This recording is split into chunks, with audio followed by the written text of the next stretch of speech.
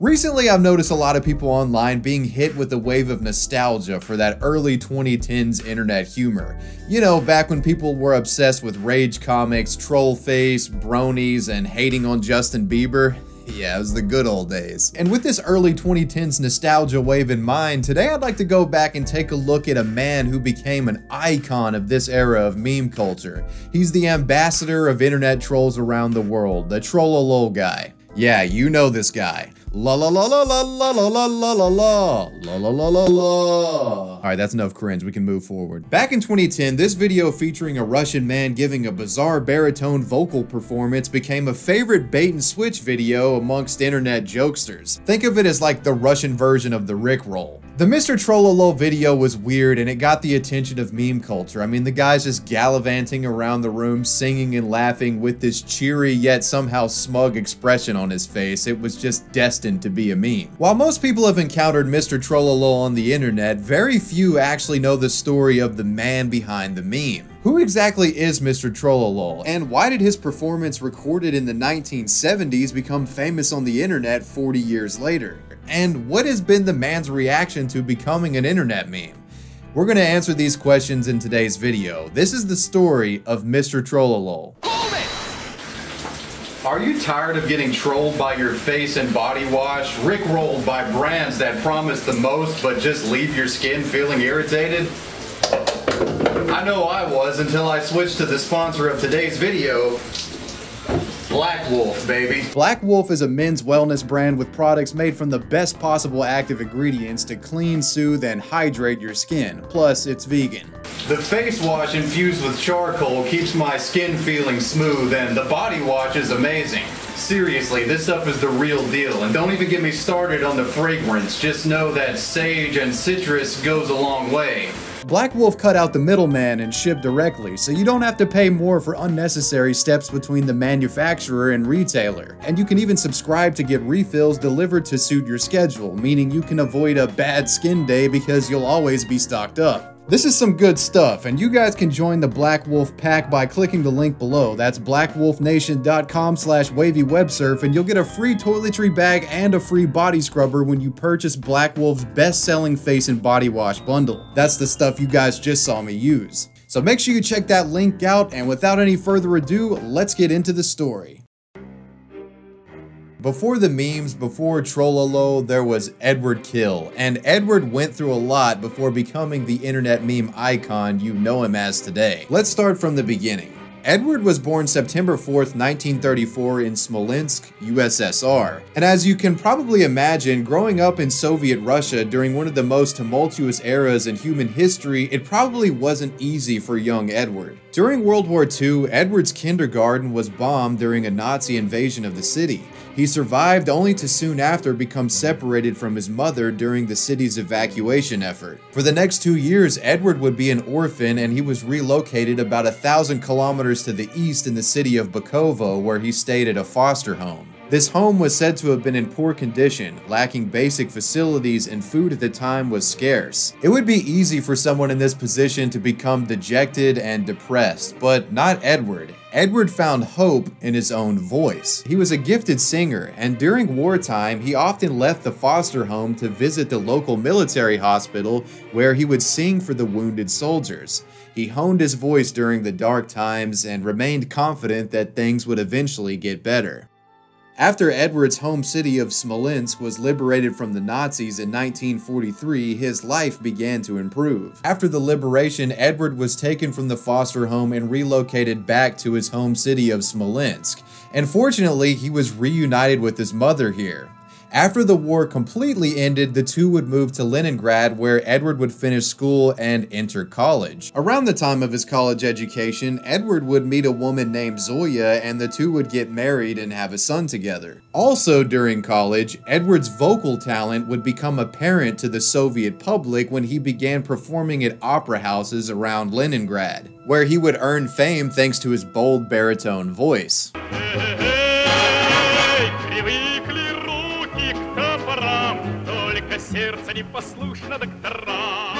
Folks around Leningrad really liked Ed, and his part-time singing gig would eventually blossom into a full-time one when there was more of a demand for his vocal talent. Throughout the 1950s and 60s, Edward Khil became renowned throughout Russia for his performances of pop tunes and Russian folk songs, which brings us to a particular Russian song that was a favorite of Mr. Edward Khil, a song called I Am Very Glad as I'm Finally Returning Back Home. The original version of this song was composed by a famous 20th century Russian songwriter named Arkady Ostrovsky. Now, the original version of this song was said to contain lyrics describing an American-like cowboy riding his horse home after being out on the trail for a long time and just having this overwhelming feeling of relief, you know, that he's about to be home and able to relax. And with this song referencing an American cowboy in mind, consider the uh, Cold War propaganda machine running on all cylinders. Edward Khil would be out of his mind if he performed this song publicly.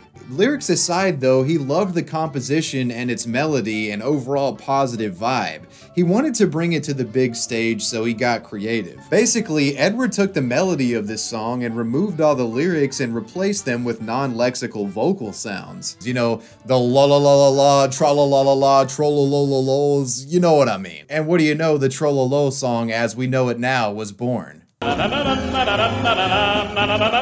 Edward began performing his version of this song in the late 1960s, but the famous performance you're all familiar with was recorded in 1976 on a live television broadcast. While Edward's version of this song was indeed popular, it wasn't like a chart-topping creation by any means. It was just a happy, feel-good song that he had in his repertoire that he would bust out from time to time. Over the years, Edward's version of I am very glad as I'm finally returning back home would be largely forgotten by the Soviet public and Khil would move on with his career performing until he retired in the 1990s, opting to spend more time with his family. Now, let's fast forward from the 1990s to 2010. The Cold War's over, Putin is riding a horse, and this little creation known as the internet is really popular around the world. And on the internet, memes are taking off like never before before on websites like 4chan and Reddit.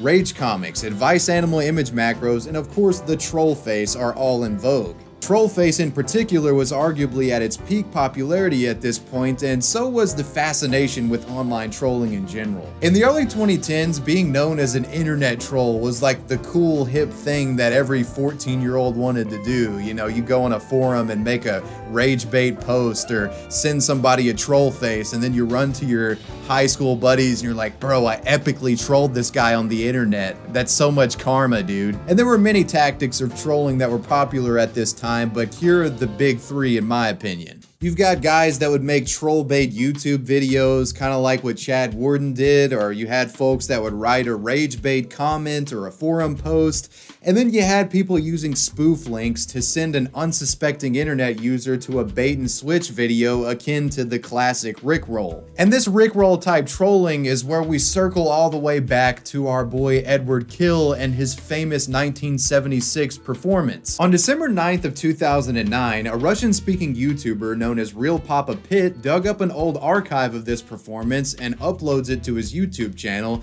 adding the Trololol tagline to the title of the song. Another YouTuber would clip just the portion of Edward laughing and upload it to his channel.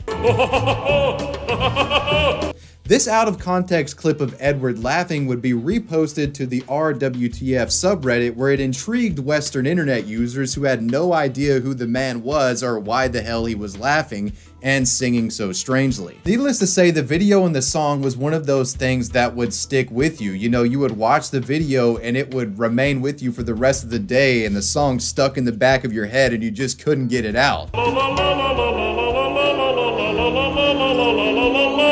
And with this effect in mind, this is where the trolls stepped in and started spreading this thing all over the place to mess with people. It worked exactly like the Rickroll. You make a post or a call to action prompting people to click a link, they click it, and well, they wind up somewhere where they didn't want to be. In this case, it was Edward laughing at their ass for getting tricked.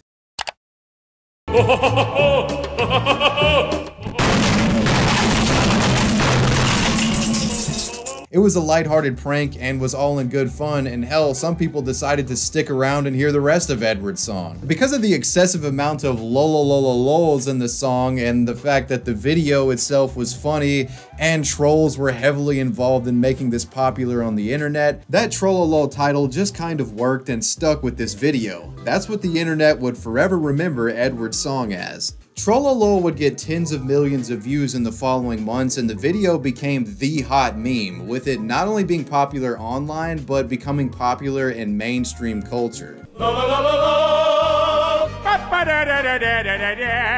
By mid 2010, this performance was plastered across the internet and was gobbling up YouTube clicks. It had established itself as an instant viral video classic by this point. But what of the man behind the Trololol song, the talented Edward Khil? Well, unbeknownst to many, the then 75 year old Edward was very much aware of his living meme status, and boy was he thrilled that so many people were enjoying his song. Edward was beyond happy that his old song was given a new lease on life and felt a profound sense of joy that it was bringing laughter to an entirely new generation. He embraced being Mr. Trololol and saw the internet's sudden obsession with him as an unexpected blessing. At the time of the meme's peak popularity, Edward was frequently asked to sing the Trololol song by passersby on the streets of St. Petersburg, where if time permitted, he would cheerfully oblige, such as this example recorded by the Murinsky YouTube channel channel.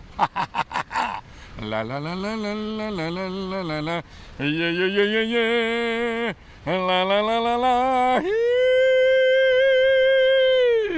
la la la wow и так далее. Eventually, Edward would actually address the internet directly and thank everyone for keeping Trollolol alive, even inviting them to create their own lyrics for the song if they so pleased.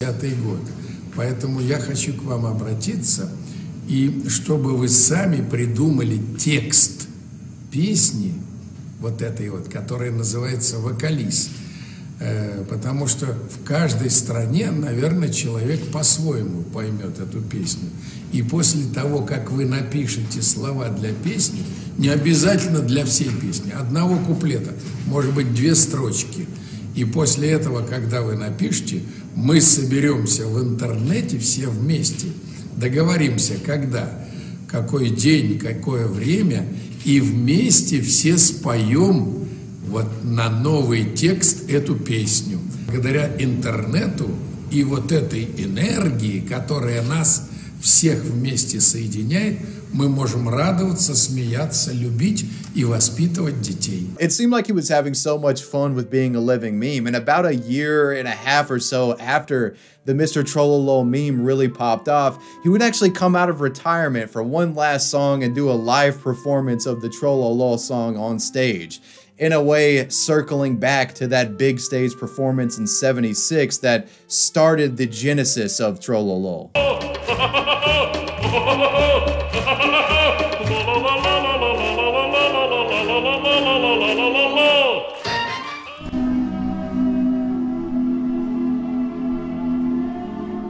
It would be an understatement to say that Mr. Trololol was a beloved figure. He was a meme icon and represented the internet's offbeat sense of humor. His legacy as a meme will live on forever. That said, unfortunately, Edward himself is just a mortal man like you or I. On June 4th of 2012, the world was met with tragic news when it was being reported that Mr. Edward Khil had passed away from complications caused by a stroke. He was 77 years old. When this news hit the internet, in a show of appreciation, users came together, flocking to the Trololol video and left kind words and paid their respects to the Russian baritone who had brought joy to millions around the world. As an orphaned boy growing up in one of the darkest eras of human history, it would have been easy for Edward to be a person lost to time a nameless casualty of circumstances out of his control. But Edward found a purpose early in life that not only guided him to success, but gave him hope. Bringing joy and happiness to others was that purpose. Through the vehicle of his voice, he helped others escape from their own momentary struggles, to get away from stress, and for a brief moment, smile. From the wounded soldiers in the military hospital to the opera house patrons of Leningrad and the millions of people on the internet, Edward reminded us to laugh a little, and for that, He'll be dearly missed.